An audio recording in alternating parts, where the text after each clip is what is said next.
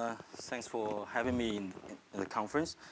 Um, so yeah, very much related to the previous paper. Uh, so it's a joint work with, uh, with Trevor at the University of Calgary.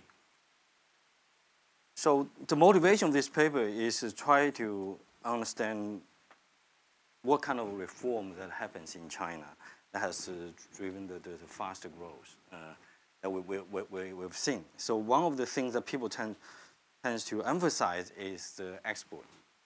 So talking about export-driven growth in China uh, since 2001 after China joined the WTO.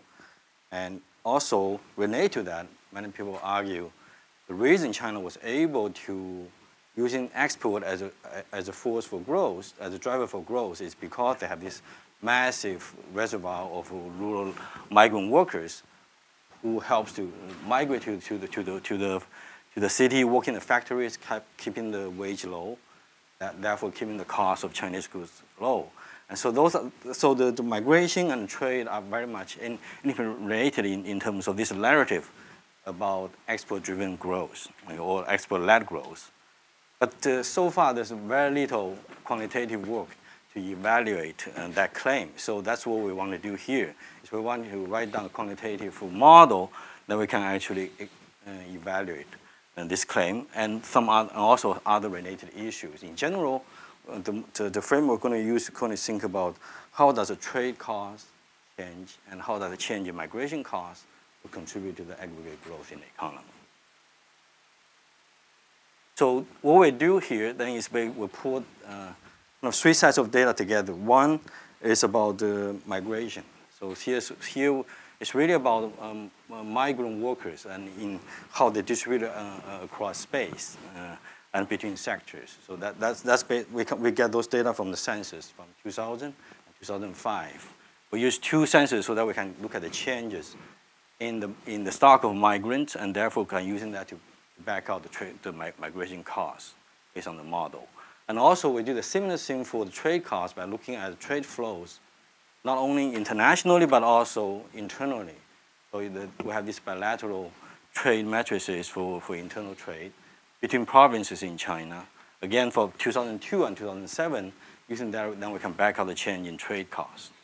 So then with this estimate, so using, to, in order to estimate this, we need, we need to have some structure to estimate. So and the model we use then is a general equilibrium model of internal and external trade that's basically based on the Eaton-Kortum, extension of Eaton-Kortum model by introducing uh, labor, uh, partial labor mobility into the model, and that allows us to use the model to, to estimate this cost.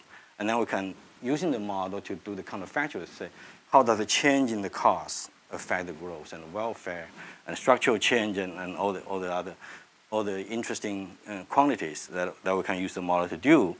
And once we have that, then in particular, the, in the today's, in this paper, we're focused on the growth. So the focus on the aggregate growth, and we're going to do a growth accounting and think about how the trade liberalization, both internal and external, contribute to growth, and how much the reduction in the in migration costs, both within province and cross province, contribute to growth, and then and then what are the the residual productivity is contributing to growth. So that's what we're going to do in this paper.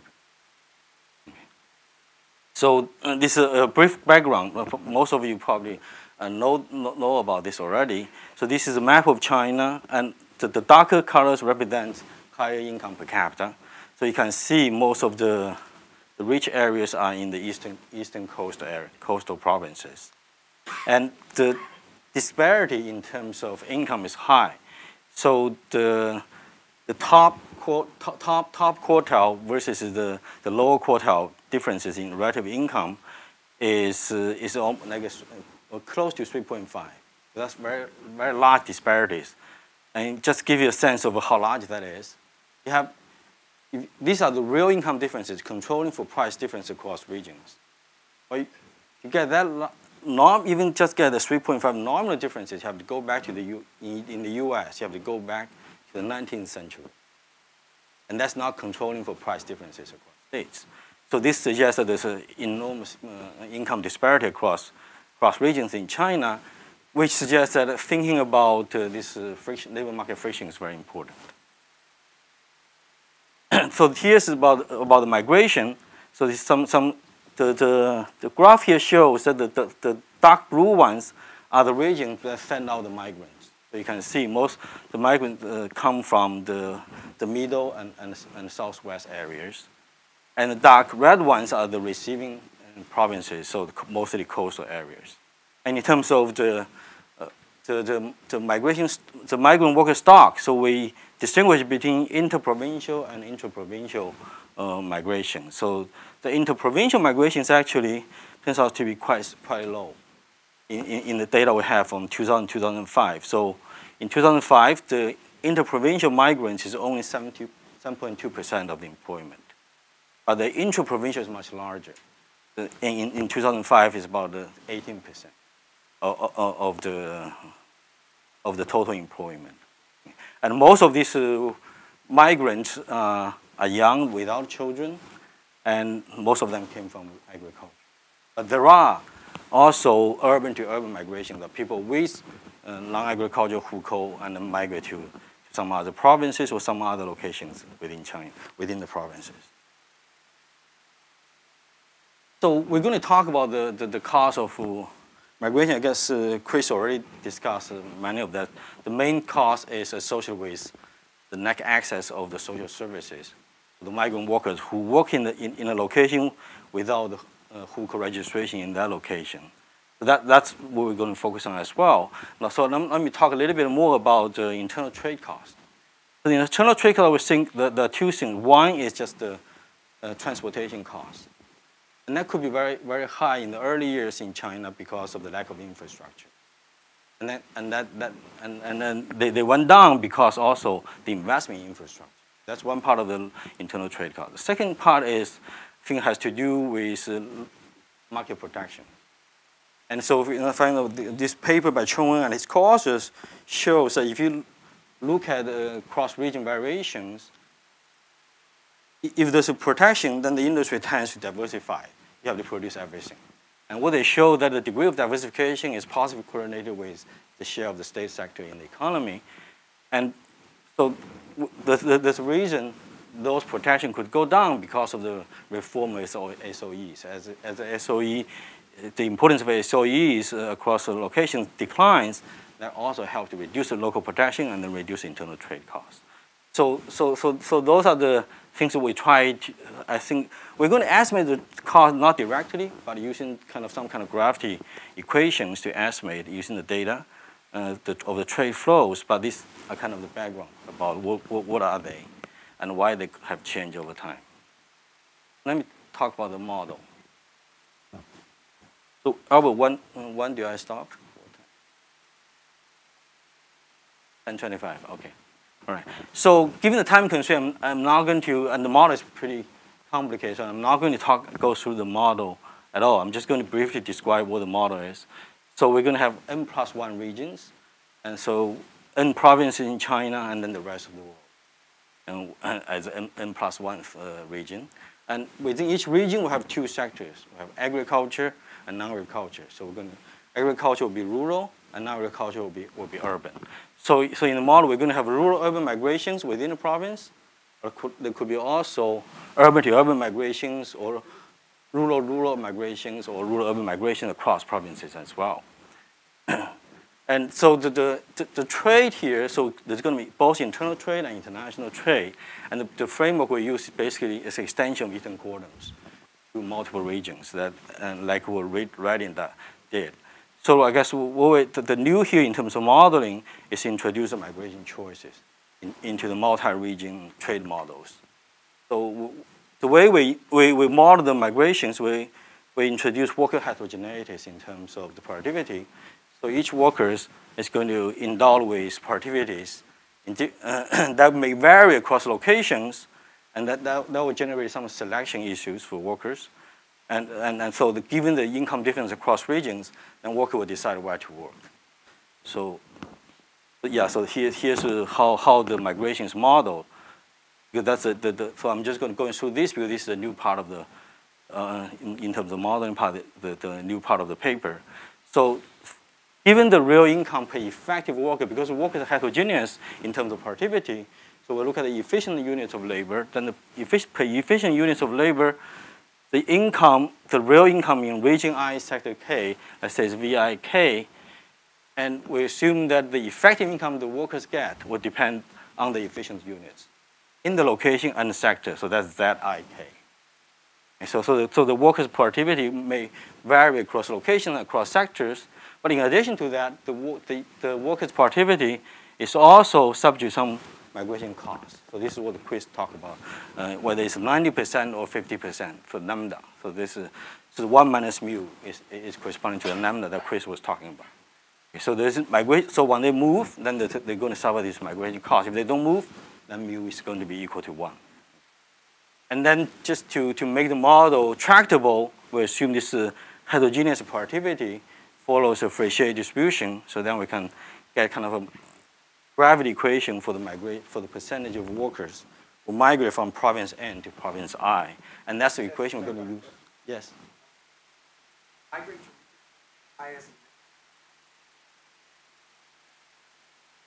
Uh, the, the right, oh, that's the income. That's income. That's income, yeah. yeah. So the VI is the income per efficiency unit. And then the, the, the, the mu and ZI represent the productivity of the worker in that location after the migration comes. Any, any more question about the, the model? Okay, so, not, so that, that basically, I mean, it's all in the paper, so I don't have time to go through the details, so let me just go through the quantitative exercise. So we're going to show you how we calibrate the model, and then we, how we estimate the trade and migration costs, and then we're going to feed those uh, estimated trade and migration costs into the model to quantify the effects of cost changes. And, and then we're going to do a, full growth accounting by matching the, by changing the residual productivities in each province and sector to match the actual GDP growth in each region.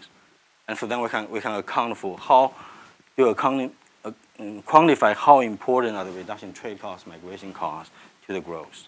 And then finally, if I have time, I'll talk about the potential further gains from redu reducing this cost to, to the aggregate growth. Okay, so let's first talk about calibrate the model. So I'm just going to focus on the last numbers here. So the, all the production numbers are pretty straightforward, coming from the input-output tables. And in the trade, the, the trade elasticity, which is, which is in, in, in this model, is related to the dispersion of productivity of firms. That's just taken again directly from the literature which, which, which is, which is around 4, that determines the elasticity of trade. So the, the, the number that I'm going to talk about here is about the income dispersion uh, related to parameter kappa. So remember I have these workers have productivity draws across different locations and sectors for the Frechet distribution. So, and, and in that Frechet distribution, if you take the log of that, then the log differences in income or productivity across, across these workers uh, within a group. So you look at a group of people who are going from Sichuan to Guangdong. You look at that subgroup, look at the income differences. So in the model, all those differences coming from productivity differences, the, the, the random draws. So, and, and in, the, in the model, then the log of the income differences follow a Gumbel distribution with a standard deviation of pi over kappa uh, times square root of 6. So we can look at the data about the income dispersion and back out kappa. And then kappa turns out to be 2.54. We also try to control for some observable differences about schooling and so on. Actually, doesn't change the kappa that much. So we, we just go with 2.54. So that's a key number. Because this would, the heterogeneity will decide how responsive the workers are to the change in migration cost.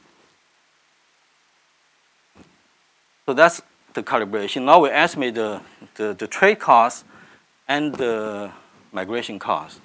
So basically, we use the, the, the model implied gravity equations to back out what the, what the trade cost is. So, we, so for, for trade costs, we see the trade flows, and then using the trade flows, and then we, we, we try to try. We, we, you can actually use the trade shares in, in most of, in this in this class of models. In a, actually, in a large class of models, you can back out the trade share, the trade cost, just looking at the trade shares and then trade elasticity parameter. However, we, here we, we're going to think about price level differences across regions. This is paper by Michael Waugh shows that uh, if you assume symmetric trade costs, which makes the estimated trade cost very easy, then you're going to generate counterfactual implications about price levels. Uh, so he's looking at international context.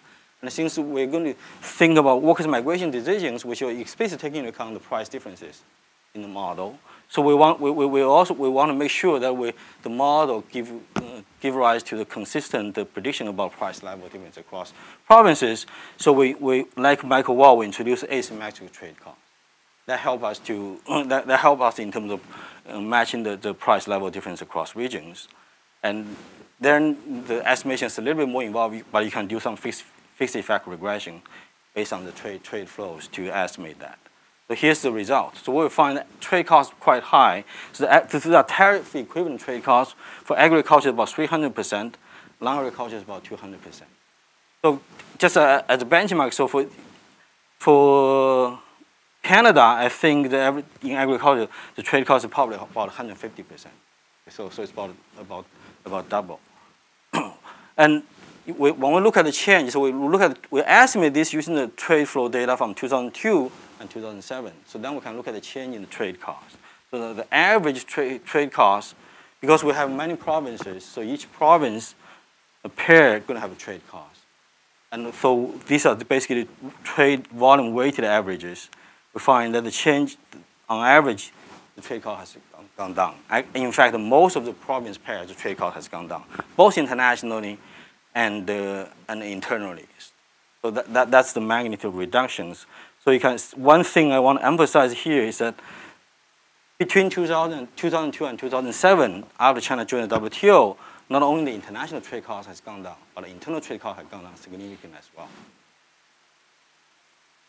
So that's about trade cost. What about the migration cost? So, so again, we're using this gravity equation, and we have the data about the migration flows, and we have the data about the real income differences. We can infer from, from, from the model and, and the GDP, real GDP data. So then we can use that equation to back out the migration costs. So this is, so 1 minus mu will be the lambda that Chris was talking about. But here, we're going to have, we do have heterogeneous lambda across locations, across regions.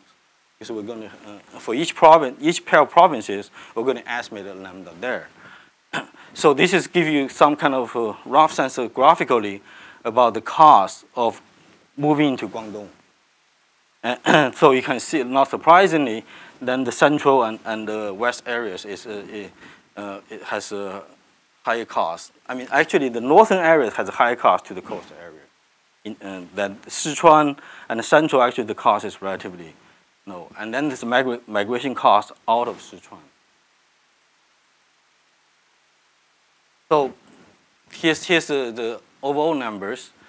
So actually, so the, the numbers we, we calculate on average now is actually, I don't know which version of the paper you look at.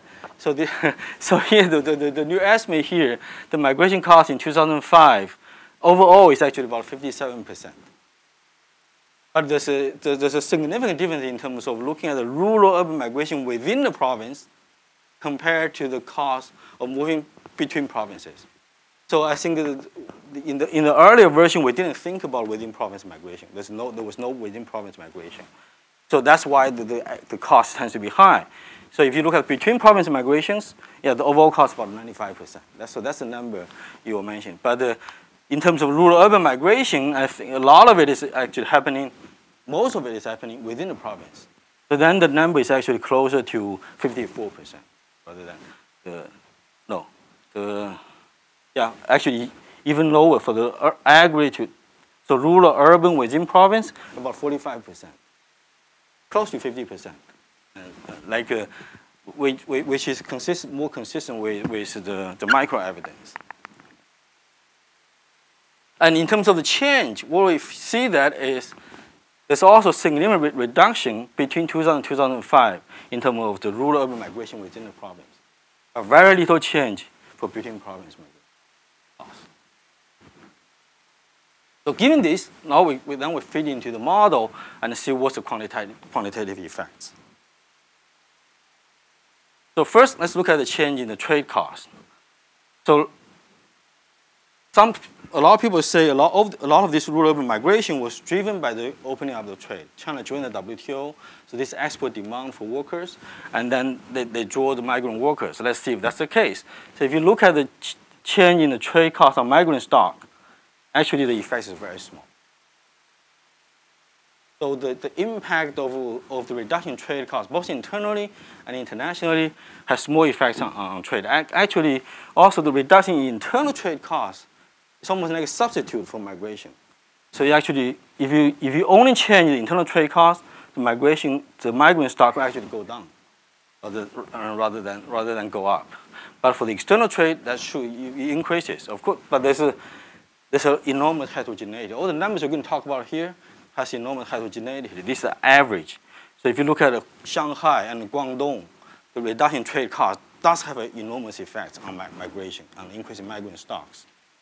Uh, but the average effect actually turns out to be quite small.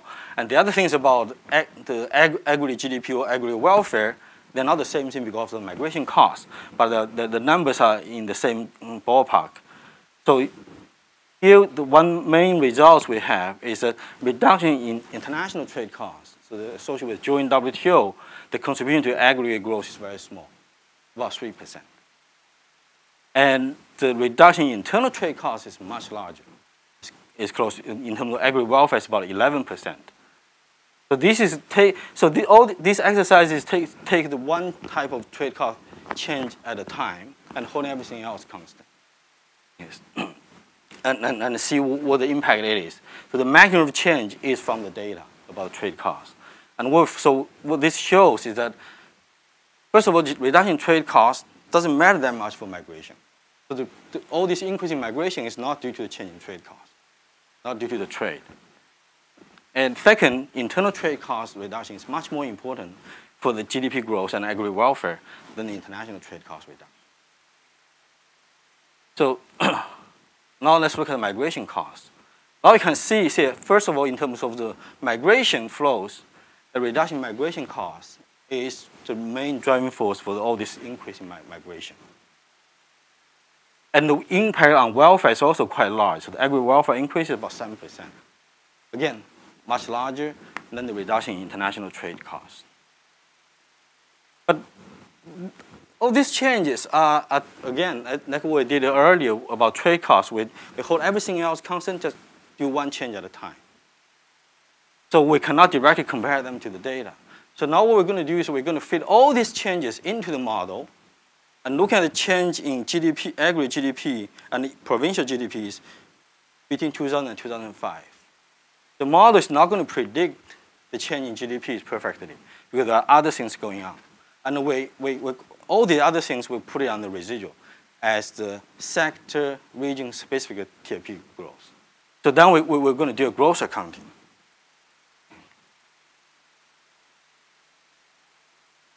Given the time constraint, so I'm just going to jump directly to here. So basically what we did is then we, we introduced all these changes here and then try to see the contribution of the each individual change. But here, because the model is nonlinear, we can so there, there's a lot of interaction effects. How to decompose that is actually not, it depends on how we introduce the change, it's the sequence we introduce the change into the model. So we could introduce a productivity change first, and then we introduce the trade costs one by one. Or we could introduce trade costs first, then introduce the productivity. Are many permutations. So what we show here is basically a bootstrapping result, basically use all the permutations and then take the average and then see the what the contribution is. So what we find that the main result is that still the largest contribution is this unexplained residual productivity change. Okay, so technology progress or the, or the changing efficiency within the sector and, and problem is very important. However, we do account for the change in the trade cost and migration cost do account a lot. So, so it's uh, so what we have. So it's uh, Total GDP change in real GDP 62%. So we get about, uh, what, 30, uh, how much we, we got? So it's uh, about two-fifths, I think, of aggregate growth.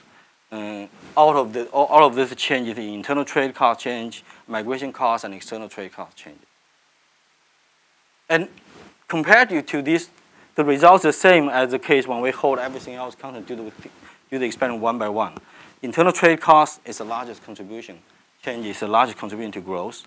And external trade cost has the smallest contribution to growth. And migration cost is also quite significant. But here I do want to mention the interaction. So it matters a lot in terms of contribution of migration costs whether we introduce productivity change first or introduce later. If we don't introduce productivity cost, then the, then the contribution of migration cost, as I showed you earlier, is about 7%. Or, or, uh, that's in welfare, in GDP is about 9%. However, if we introduce productivity cost uh, increase the residual change first, then the impact of migration is smaller. And the reason is that there has been some convergence in that residual productivity across regions. So the role of migration is less. But then the result is still around 6%.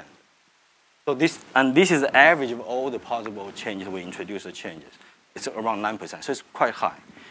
So, and one thing I want to emphasize is there's a lot of discussion about rural-urban migration, but actually the contribution of between province, urban to urban migration, the contribution is actually the largest. Out of all the possible migrations, that we, the cost reductions. So maybe we should think more about interprovincial urban to urban migration rather than just focusing on the rural urban migration here. Okay, and, and as, as I showed you, the cost is much higher for the between province migration, and the reduction is very small. But despite that, the contribution is very high. And so, and there's a lot of more uh, potential for, for, for the contribution of reducing that, I think. Do I have time for one more slide? Thanks. So I want to do, uh, I want to kind of a quick back of the envelope cal calculation about the further reduction in migration costs, how that going to contribute to the growth. So the back of the envelope calculation is the following. If you look at the US Census data, and you look at the workers who work in the state, uh, but uh, outside the state of birth. And that number has been fairly stable around one third uh, over the years. And in China, that number is much smaller. It's, it's like 7%. So what we did is that in the model, we say, let's reduce the inter-provincial migration cost uniformly across all the provinces. So the, on average, one third is the number of, people, of, of the migrant workers working outside the province of the hukou registration. What will happen? What we find is that this, we, we, we got 20, 23% of GDP growth as a result. Of course, this, this is from starting from 2005. Maybe some of those growth has already been, has already been realized. But, uh, but uh, I'm not sure because uh, the, all the indications suggest that, like Lauren was talking about heterogeneity in terms of the migrations. The rural-urban migration within the province seems to be, has been significantly relaxed over the years. But the, the migration going to the big cities like Beijing and Shanghai is probably now getting harder than before. The emphasis now is a stricter control of the city population. So I'm not sure. I, I, I don't, we don't have the micro data uh, for the 2010. Um, but so, so that, that would be that for future research. So the conclusion. So we, we, we, we, set up a general equilibrium model for both trade and migration and used to quantify uh, what happens in China. We find that the reforms in terms of both trade cost reduction and migration cost reduction account for a lot of China's growth. And the external trade liberalization actually account for much less than the internal reforms, the reduction in migration costs and reduction in internal trade costs. All right, uh, thanks for having me. Thanks for asking me to discuss the paper.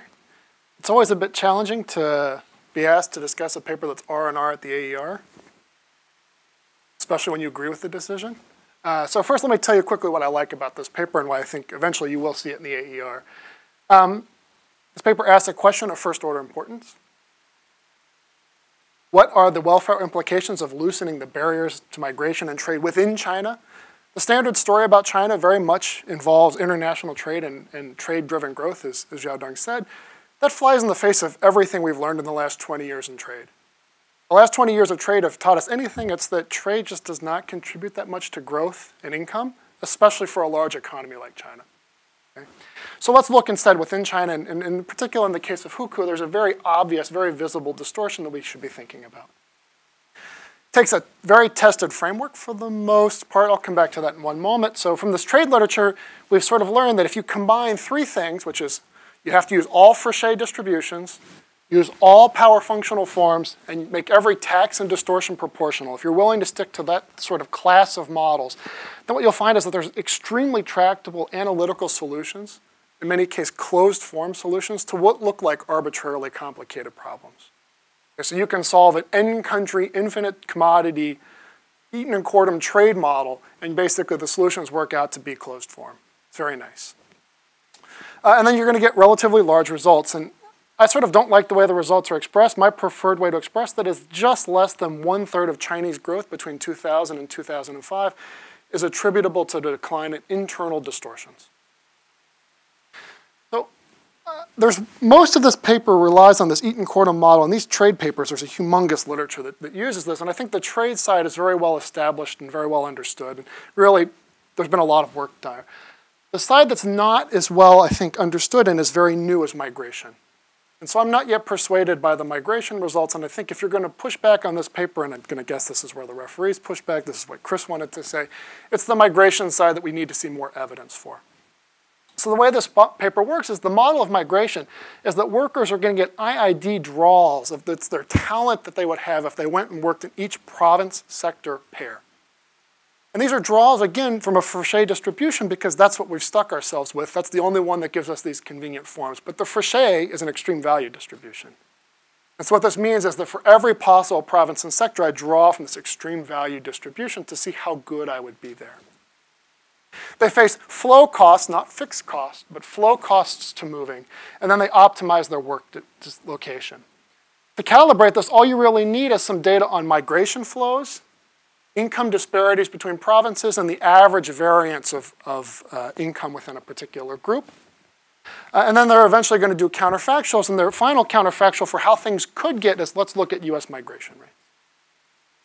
Now, as a model, I kind of, I don't find this model of migration sort of intuitively appealing this model of migration, so I was born in, in the rural farm sector of Ohio. Reason, this model says that I drew basically 100 different possible draws, and it just so happens that I live in Arizona and work in the non-agricultural sector because I got some really high efficiency units draw for that sector. It could have been Colorado, it could have been anywhere, but that's the one that was so big that I finally said, yes, I'm willing to move from Ohio because I'm going to provide a lot of efficiency units of labor in Arizona. Seems really strange to me.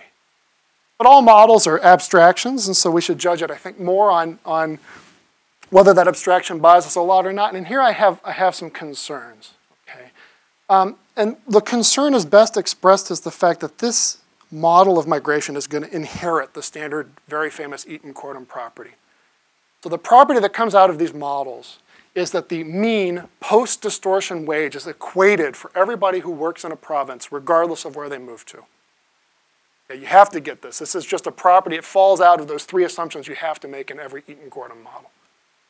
The problem is that logically, if we think about what we see in the data, the data that we get are generally pre-distortion wages. Okay? So the hukou, remember, the way this distortion works is we you move to equate after distortion wages. Okay, but the distortions here are things like I have to pay more for healthcare because it's not provided by the state, and I have to pay more for education because it's not provided by the state. And I have to buy two train tickets a year to go back and forth at the Chinese New Year. That's the types of distortions that we face. So if I get data on pre-distortion wages, which is what we typically get, right, uh, this is going to predict that there are enormous gaps in pre-distortion wages across sectors. In particular, if I take the workers who are born in a particular province and I compare those who stay to those who move to another province. Xiaodong has told us that the distortion costs are something on the order of 95 to 98%. This implies that we should see a factor of 20 to a factor of 50 income differences in the pre-distortion, pre-tax wages between those who stay and those who move. I'm not an expert on Chinese data. I've never run a Chinese wage regression in my life. I already know that that's wrong. It's just not that big. Okay? And this is really a property that comes out of using this Frechet, this extremely fat-tailed distribution. That's, it's just naturally going to fall out of that. And this is just a way of revealing it that it inherits the standard property. Okay. More generally, the way this is calibrated, I think we're discarding or losing a lot of data. And Chris already brought this up. You know, the most obvious thing to do here is to look at the wages of workers who move before and after they move. That's the type of data that we could use a lot more here. Uh, we could also use mean relative wages across areas, but I think the wage gains at switching or the wage gains at moving is, is sort of the obvious thing that's left. Um, and I think that might push us towards using a model of migration that's got a little bit less of a fat tail to it. The trade-off is that if you're not willing to buy Frechet, you're not going to get analytical solutions. This is always the sort of right at that frontier, right? If you want those analytical solutions, you have to buy Frechet. If you're not willing to buy Frechet, you have to give up on analytics. Another way this shows up in the paper is that when we think about the counterfactuals, it's not clear to me that this is the right way to think about the counterfactuals. Okay, so again, in the Frechet class of models, you need all taxes to be flow costs that are proportional. And Xiao Xiaodong does a really nice job of saying that we should think of Hukou that way. And the reason is that every single year I have to pay more for healthcare, and every single year I have to pay for the train tickets, and so every single year I face a distortion under Hukou. Now, when I go to do counterfactuals like let's turn them into the US from the year 2000, I'm not sure that that works because what they're going to do is take those proportional annual flow costs and lower them. But really, that's not the right way to think of the US. The US doesn't have a lower level of hukou than China does. The US just has nothing like that. So the way we think about trade costs in the US, or I'm sorry, migration costs in the US, is we typically think about them as being one-time costs. But of course, you can't do one-time costs in a Frechet all of the analytics fall apart. So I think what I want to point out here is that there's a very natural extension of the Eaton-Kortum model, which is an extremely well-tested model of trade, where you can move to migration and get very nice closed-form solutions. That's Redding, that's Redding 2015 that they cite. But there's really strong assumptions that go into that because you're really constrained in the functional forms you use. And I'm seeing a couple of areas where I'm concerned that those are going to bind you really hard and they're going to really drive the results. And I want to be convinced more that this is something that's, you know, we're close enough to being reasonable that it's worth quantifying. Thank you. They, they, they probably equivalent to change the kappa when you introduce correlations in this. You, you could, uh, so, so, so it's effectively reduce the elasticity, uh, uh, reduce elasticity, then you got to get a lower migration cost. I'm just mathematically there's some. I think there's some map. So that's one possibility. The other possibility is that we didn't control for any observable differences.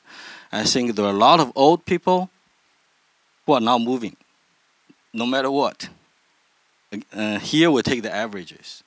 So, so that, that, that's also maybe the reason why the migration cost is very high. Because we're, we're, we're looking at the young migrant workers combined with old people who are just not moving no matter what. So that maybe that's, so if we, if we do the same calculation within a group, we probably will, will get again more more more, uh, more reasonable estimates. But I agree with you. We want to look at more micro data and see if we can get uh, evidence that's uh, about about the estimates.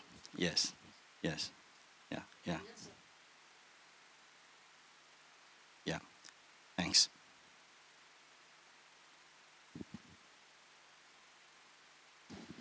It's it's a quick point, but difficult to deal with. I think in the in the model, I'm a little bit worried by the way that you draw such a clear distinction between productivity rise and things like trade costs and all that, because all these things are related. You know, like if if you suddenly reduce trade costs and you open up the, the whole world to uh, Chinese producers, and then suddenly you get this big inflow of uh, foreign investment coming in. You know, these companies. I mean, that that's where the productivity growth has come from and, and you repeated a number of times, trade cost, reduction of trade costs didn't have an impact. It was productivity and productivity, but productivity didn't come, so didn't rain productivity from the heavens.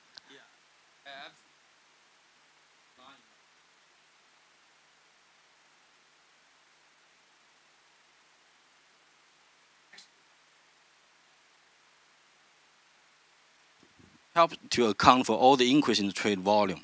So we can explain the trade volume but that increase in trade volume does not increase, does not lead to the increase in welfare and GDP much. But that doesn't mean WTO is not important. The opening up of the FDIs and so on, I think that's very important. And also there could be argument that uh, the Zhu was using the China joining the WTO as a way to force domestic reform.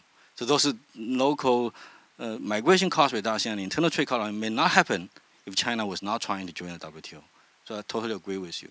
But um, we, we're just trying to say purely reduce the cost by increasing more exports in the commodity. That doesn't give you much. Any other comments or questions?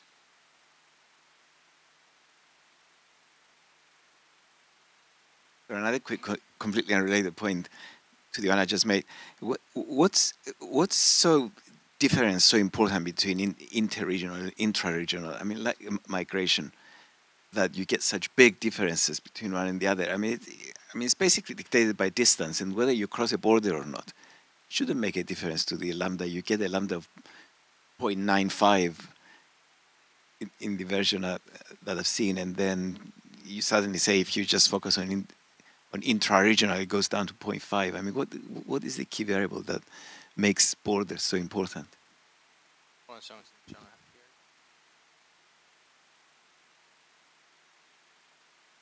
Yeah, my question is a follow up on the question that Chris just asked, and that is Is an answer that uh, when you migrate interregionally, there are many different regions you might migrate to, and which one you do migrate to depends on where you would get the highest gain?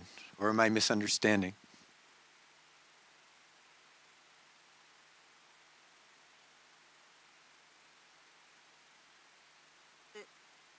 If you are local residents, that is within the province, then you're, you are my constituency.